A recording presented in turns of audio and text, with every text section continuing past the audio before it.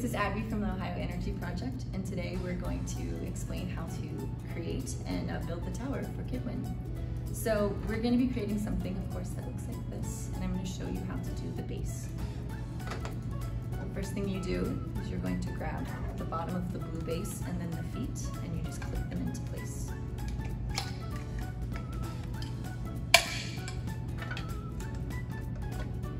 So they're just going to slide in and click.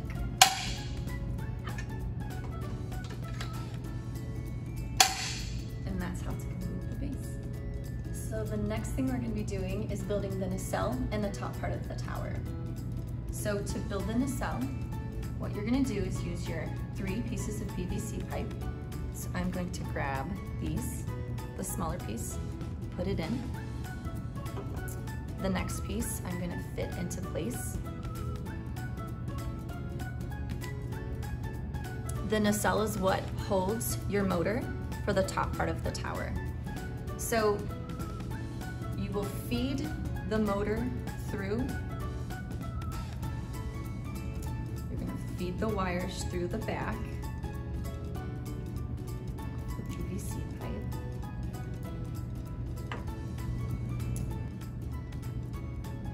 So they're gonna come out the back end like so. And so we already have it started for you, but what we would recommend is getting tape to make this motor fit a little more snug. You want it as snug as possible. So we've started it for you. You can use masking tape, duct tape. So just kind of fit it around the motor. And then once it is in, make sure it fits nice and snug into that PVC pipe. Then you're going to take your tower,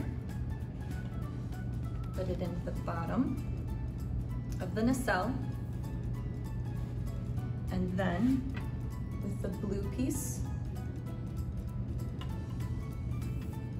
put it at the end of the tower, and then pop it directly into your base.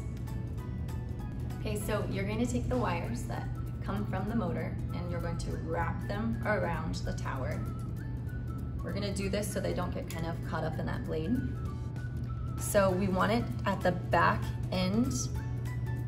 The leads are going to be facing the back end of the tower and it's good to just tape it down.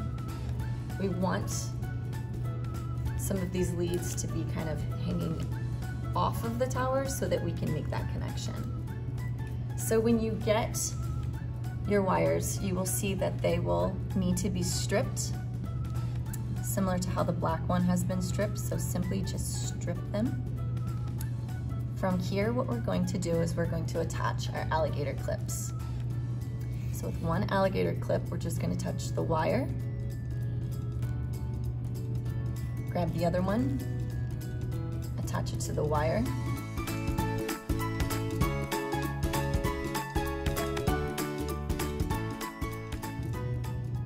What we are measuring is the voltage across the resistor.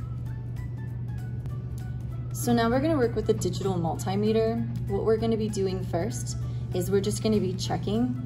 Um, we've got our off and on switch here, and then we're gonna be staying in this up, upper left window. We're gonna be looking at the DCV, which stands for your direct current voltage. What you would want to have your students do is stay on the 2000 millivolts this is gonna give you the best accuracy for your um, design. So the next thing you're going to do is take your black and red um, jacks and you are going to put the black one into the COM, which stands for common. The next thing that you're going to do is you're gonna take your red jack and you're going to put it in the one right above it, which has the V for volts. And then of course for the resistor, the ohms, and plug that one in. Next thing you could do is turn on your digital multimeter.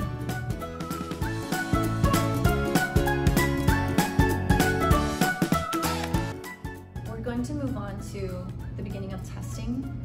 So a student would come and take their design that's on the hub and put the hub onto the motor. So we've kind of explained and, and demonstrated that for you. A good rule of thumb is that the hub should be, center of the hub should be at the center of the fan. So you wanna make sure also that your students know the distance between the fan and the hub. They will need to record that on the wind speed chart. Also before you begin, it's very important to make sure that your fan is secure. So we have the multimeter hooked up and if you're seeing, we're touching the probes to the resistor and we're seeing a reading. Right now, you're going to be recording the highest number that you see. We're looking at the multimeter and seeing that it's negative. That's just due to the polarity. So we simply switch the probes. You will see that similar number, but now in positive. We are in millivolts reading this. Your students will need to convert it to volts, course just dividing by 1000.